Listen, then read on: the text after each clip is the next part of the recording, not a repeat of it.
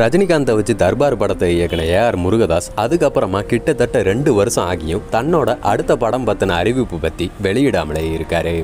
குறிப்பாக ஸ்பைடர் சர்க்கார் தர்பார்னு முன்னணி ஹீரோக்களை வச்சு அவர் இயக்குன படங்கள் எல்லாமே பார்த்தீங்கன்னா பரபரப்பாக பேசப்பட்டாலும் கமர்ஷியலாக வெற்றியை பெறலை அப்படின்றது ஏஆர் முருகதாஸுக்கு கொஞ்சம் பின்னடைவை ஏற்படுத்திச்சு.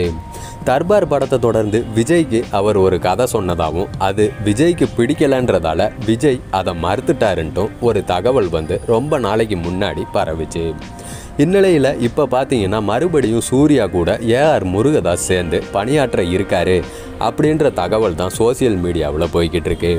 அதுலேயும் பதினஞ்சு வருஷத்துக்கு முன்னாடி இவங்களோட கூட்டணியில் ரிலீஸ் ஆகி மிகப்பெரிய வெற்றி அடைஞ்ச கஜினி திரைப்படத்தோட இரண்டாம் பாகத்தை தான் ஏஆர் முருகதாஸ் சூர்யாவை வச்சு இயக்க இருக்காருன்னு சொல்லப்படுது.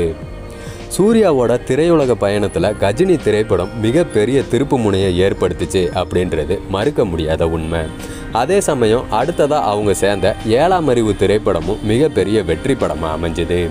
அதுக்கப்புறம் பார்த்தீங்கன்னா முருகதாஸ் விஜய் கூட தொடர்ந்து பயணிக்க ஆரம்பிச்சிட்டதால இவங்க கூட்டணியில் ஒரு மிகப்பெரிய இடைவெளி ஏற்பட்டுருச்சு.